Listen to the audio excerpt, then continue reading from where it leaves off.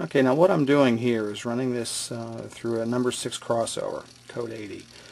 And this is a demonstration of both the slow speed and of the electrical pickup ability because if it'll go back and forth between a number 6 Atlas, it'll pretty much pick anything up.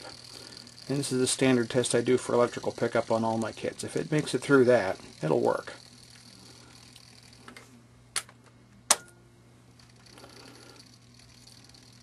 So if you run that back and forth through the whole thing, you've pretty much got all eight wheels in consistent pickup.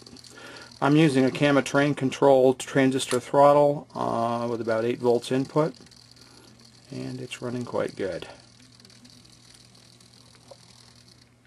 Okay, second test is basic tractive effort. I just hitched up a bunch of cars that I had handy here and I'll pull them through and then reverse it so you can see it does pretty darn well.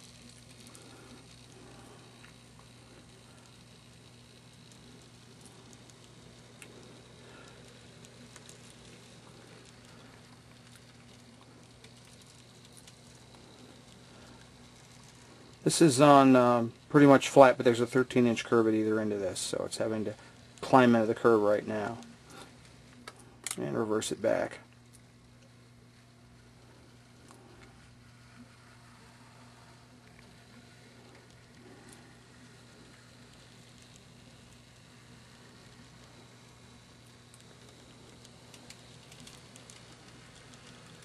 And hopefully with the sound of my voice there you can also tell it's pretty quiet.